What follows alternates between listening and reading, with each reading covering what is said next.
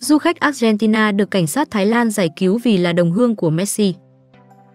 Tầm ảnh hưởng của Messi quả thật ngoài sức tưởng tượng.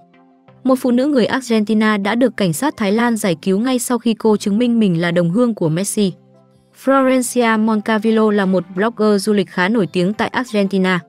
Người phụ nữ 35 tuổi sở hữu trang Instagram với 38,3 nghìn người theo dõi. Florencia từng bán tất cả tài sản để có tiền du lịch khắp thế giới. Trong cuộc trả lời phỏng vấn trên thanh niên, Florencia đã kể lại tình huống khó tin nhất trong cuộc đời mà cô vừa trải qua tại Thái Lan. Tôi đang ở bãi biển trên một hòn đảo ở Thái Lan, xung quanh là một số căn nhà gỗ có tầm nhìn hướng biển. Điện thoại của tôi hết pin và tôi cầm điện thoại và dây sạc tới cắm vào ổ điện bên ngoài một ngôi nhà nhỏ. Khi tôi chuẩn bị cắm sạc thì bất ngờ một người Mỹ xuất hiện. Anh ta có vẻ giận dữ kéo tay tôi đi vào quầy lễ tân, Florencia kể lại sự cố bất thường. Tôi chưa bao giờ thấy ai giận dữ như vậy, Florencia nhớ lại.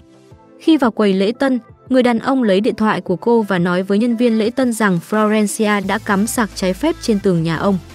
Tới lúc đó Florencia mới biết việc cắm sạc nhà khác bị cấm ở hòn đảo này. Nhân viên lễ tân bắt đầu tra hỏi vì sao tôi làm chuyện đó. Tôi rất lo lắng vì mình không biết nói tiếng Anh. Bằng vốn từ ít ỏi, tôi cố gắng giải thích mình chỉ tìm chỗ sạc điện thoại. Cô lễ tân trách tôi tại sao không vào quầy lễ tân sạc nhờ, Florencia kể lại. Người đàn ông Mỹ làm mọi việc nghiêm trọng hơn. Ông ta rút điện thoại gọi cảnh sát. Một khách du lịch Bồ Đào Nha đứng ra bênh vực cho tôi. Tôi giải thích với anh ấy rằng tôi không phải tội phạm, tôi chưa làm gì cả, Florencia cho biết. Hai viên cảnh sát Thái Lan đã có mặt chừng 20 phút sau. Họ hỏi lễ tân và yêu cầu xem hộ chiếu của Florencia. Làm sao tôi có thể cầm theo hộ chiếu khi ra biển tắm? Nhưng rất may tôi đã chụp lại hộ chiếu trong điện thoại. Khi xem hộ chiếu của tôi, họ tỏ thái độ ngạc nhiên vì biết tôi là người Argentina. Nhưng tay người Mỹ vẫn không buông tha Florencia. Hắn ta yêu cầu cảnh sát tạm giam người phụ nữ Argentina. Hai viên cảnh sát Thái Lan không nói gì chỉ kéo tay Florencia rời khỏi quầy lễ tân. Sau khi đi được tầm chục mét và thoát khỏi tầm mắt của vị khách Mỹ khó tính, hai cảnh sát mới buông tay Florencia và lộ vẻ mừng rỡ.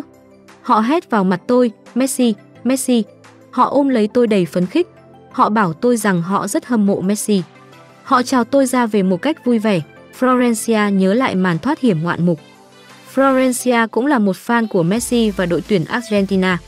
Tại kỳ World Cup 2022, cô đã bay sang Qatar và không bỏ lỡ bất kỳ trận đấu nào trong hành trình lên ngôi vô địch thế giới của Messi và đồng đội. Nhưng Florencia không thể ngờ rằng việc là đồng hương của Messi lại giúp cô thoát khỏi rắc rối lớn tại Thái Lan. Một câu chuyện tương tự diễn ra cách đây chưa lâu tại Israel.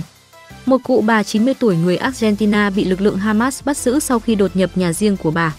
Cụ bà có tên Esther Cunio nói với bọn bắt cóc rằng bà là người Argentina, là đất nước của Messi.